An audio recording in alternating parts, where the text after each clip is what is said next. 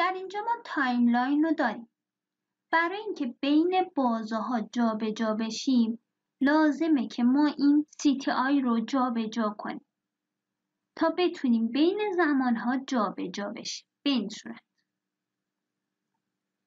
صدا رو قطع کنم که صدا برای من ایجاد نشه برای play کردن. در اینجا برای play کردن من از چند روش می‌تونم استفاده کنم. یک کلید space رو بزنم. با زدن space مجدد متوقف میشه. مجدد space و با زدن مجدد space حرکت CTI متوقف میشه. همچنین می‌تونم روی کلید صفر از صفحه کلید بزنم.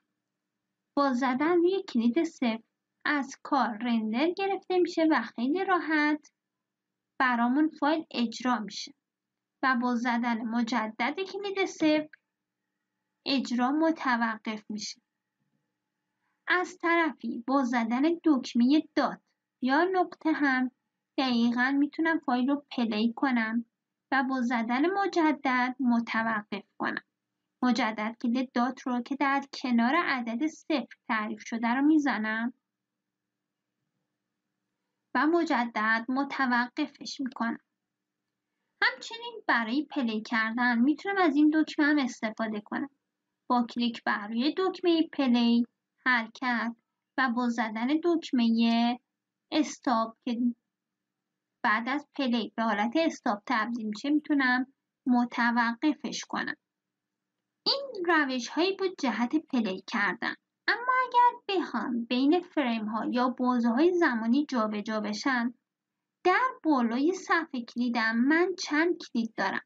home end page up و page down با home به اولین خط برگشتیم. با end به آخرین زمان برگشتیم. page up رو که بزنیم به صورت فریم به فریم جابجا جا میشه و به سمت عقب برمیگردیم. با page down به صورت فریم به فریم به سمت جلو برمیگردیم. من اگر بخوام خود فایلم مثلا این فایل یا این فایل یا این فایل هر کدوم رو به اندازه چند فریم مکانش رو جابجا کنم من می‌تونم ابتدا فایلم رو انتخاب کنم. کلید alt از صفحه کلید رو نگه دارم و روی page down یا روی پیج آوت بزنم یا حتی روی end یا home بزنم. روی end بزنم این فایل رو تا انتها کشید جلو. روی home می‌زنم برمیگردونش عقب. روی page up به اندازه اون فریم برمیگرده عقب. و با page down برمیگرده جلو.